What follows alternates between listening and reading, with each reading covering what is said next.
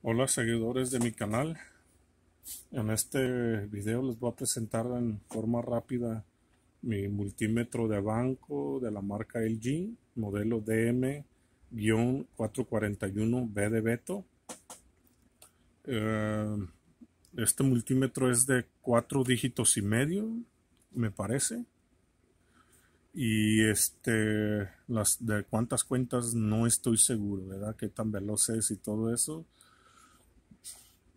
este victímetro ya tengo con él unos años, aparte de que me lo pasó un colega ya usado.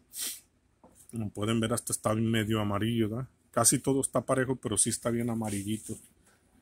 Aún en comparación con este otro que es más viejito, ¿verdad? Este, eh, no sé en qué año fue hecho, no recuerdo. Me parece por ahí como en los ochentas, creo yo. Eh, algo que es bien extraño, ¿verdad? Que este multímetro, bueno, de hecho el G no conozco yo otros multímetros más que este. Es el único que parece que hicieron. Pero también lo miré en la marca Philips, este mismo, está igualito, ¿verdad? Este ah, tiene bien mucho que no lo pruebo yo referente al referente a la función de los transistores, pero sí funciona, ¿verdad? Es para medirles el HFE y este, pues ahorita lo tengo allí en, en frecuencímetro porque es una de las de las de estas ah, funciones que que más este varía ¿verdad? una de las que menos precisa tiene de las que menos me gusta. Y ahorita les voy a mostrar un poquito vamos a vamos a analizarlo un poquillo verdad para que vean más o menos este, a qué se refiere. Digo, no me costó a mí muy caro y todo, ¿verdad? Pero este, no sé, si, si no, si lo tuviera que volver a comprar, no sé si lo compraría, porque pues, en estas épocas estoy pensando en comprar algo, algo más moderno, ¿verdad? Y este, si me hubiera gustado más como el Fluke que tiene doble lectura, porque en mi Angelens que tengo de, de portátiles son doble lectura y eso, eso me gusta, ¿verdad? Aunque nunca, He probado el de la marca Fluke, no estoy tan seguro que, que también funciona con en doble, ¿verdad? con dos displays. Eh, vamos a ver, mira, aquí tengo mi multímetro, ¿verdad? Les voy a estar diciendo qué es lo que, lo que voy a estarles eh, presentando, ¿verdad? Ahorita lo tengo acá arriba seteado el, el, en la frecuencia de salida más alta que tiene el, generador de frecuencias del multímetro que es 4800 Hz o 4.8 kHz, ¿verdad? Y vamos a ver cómo da la lectura. Si se alcanza a mirar, 497. No está tan mal, solamente son tres cuentas, ¿verdad? Este, tomando en cuenta que no sé qué, no, no, no ajustado el, pues está 50%, 50% del duty cycle se supone que debería de estar ¿verdad? un poco más cerca pero no está tan mal de todas maneras sí para analizar ¿verdad? un circuito pudiéramos decir que no está tan lejos. Ahí tengo 2400 vemos que ahí ya son cinco cuentas las que está bajando. Algo que he notado yo verdad que en cuanto más baja más varía verdad entre más bajita la frecuencia es más difícil que la cuente el el contador de frecuencias, ¿verdad? El frecuencímetro. Vamos a ver más abajo. A 1600. Ahí regresó un poco, cuatro, cuatro cuentas nada más. 1200. Miren, ahí sí está bastante off. Ahí ya son, no sé, como 50 en promedio. Más abajo, en 800. Ahí vemos que ya, ¿verdad? Ya no, lo, no las registró las 800 a ver, vamos a ver si, si le bajo un... No. Pareciera que hasta es peor, ¿verdad? Sí, no, no, no, no detecta esas frecuencias. Parece que de mil para abajo es como que ya, ¿verdad? No, no, lo, no, la, no, las, no las capta, ¿verdad? Y... Sí, ya no. Ahí ya se, ya se salió bastante. Quizás también sea porque estoy tocando las puntas, pero lo dudo que sea eso. se, salió bastante. Si esta, esta, pues este multímetro ya tiene sus años, no ha sido calibrado muy recientemente, ¿verdad? Pues este, la, en esa función sí no, no, no andamos muy, muy fuera. Pero vamos a ver en cuestión de la... Eso es algo que me gusta. Se me hace muy aceptable, ¿verdad? El tiempo que, que tiene de reacción para, para la continuidad. Este. Y pues en los diodos también eh, me gusta porque sí enciende la mayoría de colores. Vamos a hacer la prueba rápido aquí con unos, ¿verdad? Por ejemplo, el, el azul. Se vean, ¿verdad? Bien, bien fácil los, lo, lo prueba. Me parece que los blancos también ver, aquí tengo uno blanco. Que creo que son los más difíciles de que encienda, ¿verdad? Ya de ahí los demás. Yo lo he probado, creo que también así los infrarrojos y todo. Lo, no, obviamente no los vemos, pero sí los, los prueban bien, ¿verdad? Sí, sí lo, sí lo enciende. Y hay unos que lo encienden con muy poquita intensidad, estos multímetros, no, estos sí los encienden fuerte. Estamos viendo que en ese, en ese sentido sí funcionan bien. Casi todos los multímetros de banco son, suelen ser eficientes en esa prueba, ¿verdad? Lo único que me hubiera gustado que hubiera tenido um, que hubiera tenido este capacímetro, hubiera estado excelente. Vamos a ver un poquito en resistencia, a ver qué tanto, qué tan bien anda. Ahí sí lo voy a probar en comparación con el Angelen, ¿ok? A ver, vamos a ver qué tal en una resistencia variable, a ver qué puedo, qué puedo este, observar, ¿verdad? Eh, como se darán cuenta, es, es este, no es,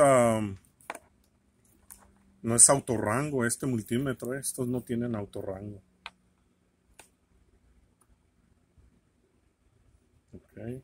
Sé que está fuera de, Ahí nos dice 280 mil.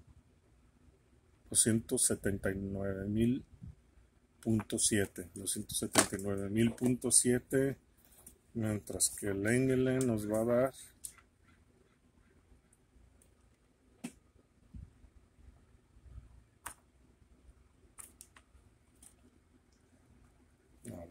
A ver, les va cuánto da el Engelen. 282. 282 mil está un poquito de afuera. No sé como que 2000 ya ese a esa altura. A ver, déjenme bajarle un poco, a ver cuánto, varía en, una lectura más baja. Eh, algo así como vamos a aproximarnos a 10.000 allí tengo 10.000 exactitos. A ver. Vamos a ver aquí. ¿eh? Estoy en la misma resistencia. En la resistencia variable. Vemos que está dando 9.5. A ver, vamos a ver en un rango más abajo. Me da 9.6. Y en el otro da 10.000. Está un poco off. Aquí tiene un ajuste para, para ajustarla según eso a cero. Ahí está no, ya que, el cero está también, no está tan, tan fuera. A ver, vamos a ver un poco más abajo. A ver cómo. A ver otra lectura de menos, menos ohms.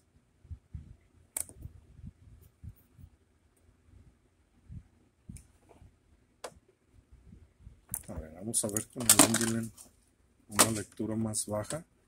A ver si unos 500 ohms, a ver qué tan abajo estaría ahí.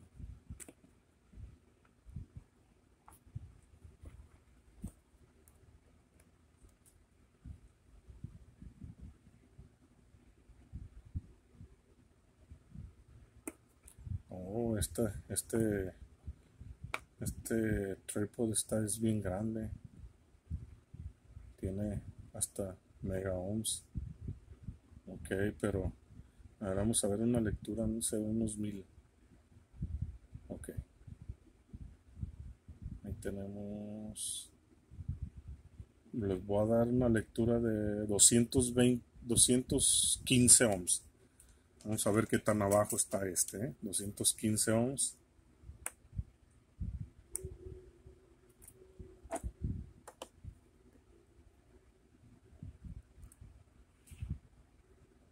No, ahí no No sé, está muy, muy fuera.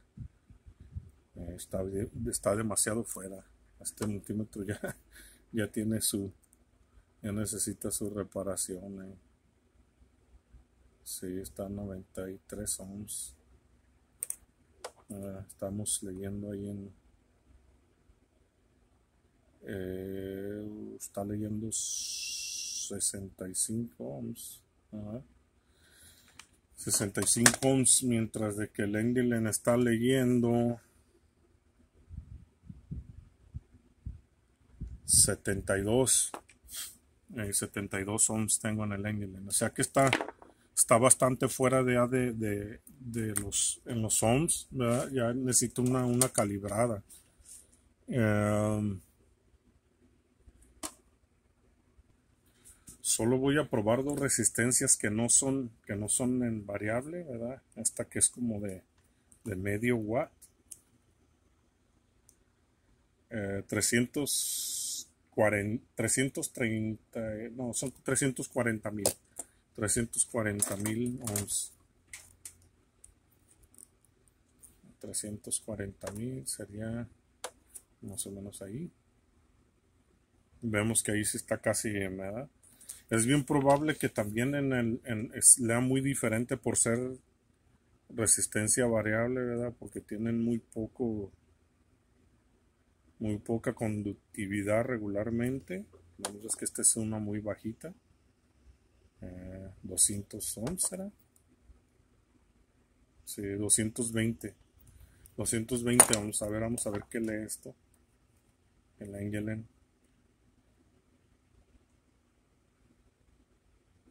219.5 219.5 no está tan no está tan mal en esos verdad creo yo que es más bien porque el tripod a lo mejor hasta se me movió un poquito pero no está 100% preciso verdad ya es, es algo que se tiene que considerar cuando se compra un multímetro de esos que como son viejitos verdad no no van a tener una medida muy exacta. A ver ahí voy a medir la la corriente de la línea, ¿verdad? Vamos a ver si dice que a ver vamos a ver qué tanto hay ahorita de voltaje aquí en la casa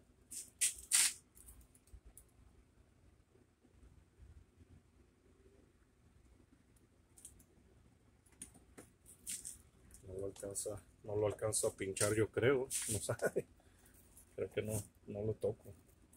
¿Se mira? Sí, ahí está. Ahí se vio, ahí se vio. Ven, 110 voltios. Eso es lo que tenemos. Ahora déjenme lo pruebo con el Endilen a ver qué dice este. 110. Dijo aquel. Y este va a decir 110.3 el Endilen. Está no está tan, tan fuera. Ahora voy a probar rápido también la en corriente directa aquí con la fuente de alimentación. Vamos a ir subiendo poco a poco. Ahí tenemos DC. Vamos a ver desde, unos 3 voltios. Ya se los vamos a probar juntos, ¿ya? para irnos rápido. A ver si le puedo poner las dos terminales juntas. Yo creo que sí. No creo que sea mucha bronca empalmar una con otra. A ver qué nos dan los dos a la vez. Les voy diciendo nomás mientras voy subiéndole el, el ajuste. No lo debo tocar porque ya cuando ya vaya más arriba el voltaje va a estar canijo. Ok. Estamos en 2.9. No sé por qué el el ángel no está leyéndolos. A ver. Ah, y sí. Qué extraño, él está leyendo perfecto, eso no me había fijado, y aquel no está leyendo nada. Vamos a ver más arriba. Ok, no lo está tocando, yo creo, no, no, no me da lectura. Extraño, no me está dando lectura el Engilen. Está haciendo algo mal. A ver. Ok, ya está. Ok, ahora sí. Entonces dijimos que está en cero. Subimos poquitito, 1.3. Oh, pues. Vemos que a cada 1.2 y a cada 1.38. Vamos a ver qué está pasando ahí.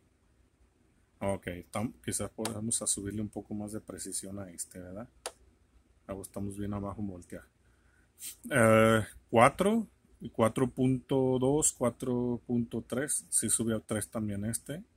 Está muy poquitito, ¿verdad? Solamente como una. Yo creo que, que será como unas 20 centésimas de voltio. No menos, ¿verdad? 5 centésimas de voltio. Ahí estamos 5.45, 4.45, 4.45 también. En este sí sube hasta el 7. En aquel hasta el 8. 9 también sube. Eh, incluso, incluso el 4.5. Acá también ya. Es como que la, de esta fuente tarda un poquito en subir. Muy parecida la, la lectura. Eh, en realidad está bien parecida. Vamos a subirle a 11.6. Este ya está dando 11.7. Está leyendo a veces 11.8 y aquel también. Entonces dijimos que ahí la fuente es la que está un poquito, ¿verdad? El display de la fuente está un poco bajo. Da un poco más que lo que está diciendo. Vamos a subir a 21. Vemos ahí que 21.9. Y aquí sube a 21 a 22. a hacer un poquito aquí. Aquí ya no me está leyendo, como que se me movió uno. 22.1. Acá también 22.1. Ah, solamente por uh, centésimas de voltio está, está afuera. A ver, un poco más arriba. Vamos a subir a 50 más o menos a ver 49.4 49.6 49.7 49.7 los dos están bien nada más la, fuente está mal ¿verdad? sube 13.78 y aquel punto 80 indica un poco más el ángel un poquito vamos a ver a no sé 90 90.2. Acá tenemos 90.4, acá 90.6 en el Angelen y 90.6 en el de abajo también. En eso sí está bien, está bien precisa. No quiero pensar que cuando leí las resistencias tal vez necesitaba de leer resistencias que no fueran variables. Porque esto está, está muy preciso este con aquel. 70, 71, miren. Punto 70 y punto 71, nada nomás de diferencia. Y eso que no estoy tocándolos bien, bien, bien, ¿verdad? Porque es mucha bronca estar. Necesitaría como un doble caimán. A ver el tope. Vamos a ver lo máximo que da mi fuente, que vienen siendo 119 voltios. Ahí está dando 121. 121.7 y 121.75. Punto 75 igual. Suben Sí, de hecho miro que sube el ángel en un poco y enseguidita antes de un segundo ya está subiendo el otro también. ¿Verdad? Lo veo que baja 50 y acá baja punto 50 también. Eh, pero está, híjole, estoy, estamos hablando nada más como de dos, ahí serían dos ah, centésimas de voltio. Está off nada más. Nada más dos centésimas de voltio varía, ¿verdad? El cual se me hace muy bien. En, corriente alterna no tengo ahorita para checar varios voltajes, ¿verdad? Más que ese. Pudiera checar en otro transformador. Pero a lo que voy, ¿verdad? A final de cuentas, mi recomendación es de que eh, como hobby para, para, ¿cómo les diré? Como para, para alguien que está comenzando no se recomienda comprar algo así porque no sería muy útil, ¿verdad? No sería muy útil en las reparaciones, en sus pruebas, ¿verdad? Todo eso porque no está muy preciso, ¿verdad? Habría que meterle mano, ¿verdad? Hay que echarle mano, hay que, este, perdón, ya estoy apagando luces. Eh, habría que, que, ajustarlo o mandarlo a ajustar, ¿verdad? Lo cual no es muy fácil para un usuario. Aquí tiene sus ajustes a cero, ¿verdad? Pero no son muy, muy fáciles de hacer. Entonces, este, eso habría que tomar en cuenta, ¿verdad? De que si no eres un, un este experto en esto y todo, pues para qué, ¿verdad? No, no, no te lo recomiendo. Te recomiendo que te compres uno nuevo. ¿verdad? Nada más les quería presentar cómo funciona y todo, ¿verdad? Por si alguien tiene una duda de cómo para qué te puede servir. ¿Verdad? Es todo por hoy. Espero que les gusten los videos. Si les gusta, ahí me dejan manita arriba. Y nos vemos en el próximo video donde este es probable que presente un otro probador de capacímetro, de, de, de capacitores o un Miller, ¿verdad? Un, una, un este medidor de insulaciones, un probador de insulaciones y, de, y del liqueo de, de los capacitores. ¿eh? Nos vemos en el próximo video. Que tengan bonito fin de semana.